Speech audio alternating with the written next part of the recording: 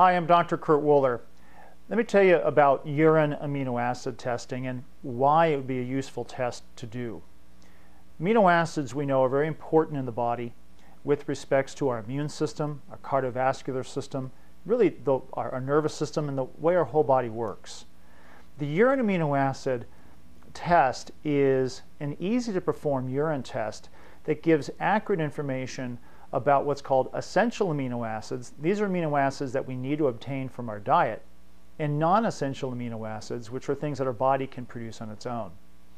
The amino acid test helps to look at highs and lows or whether those amino acids are in balance. Also, it gives other parameters, things that might indicate a magnesium or B vitamin deficiencies or digestive problems.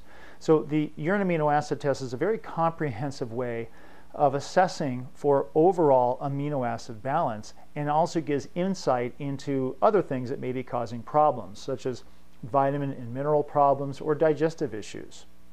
So where would you want to do this and why would you want to do a urine amino acid test?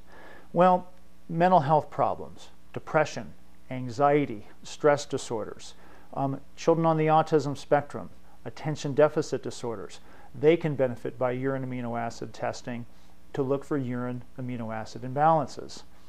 Chronic fatigue or just general fatigue, um, lack of building muscle, poor immunity. These are just some examples of where the urine amino acid test is useful.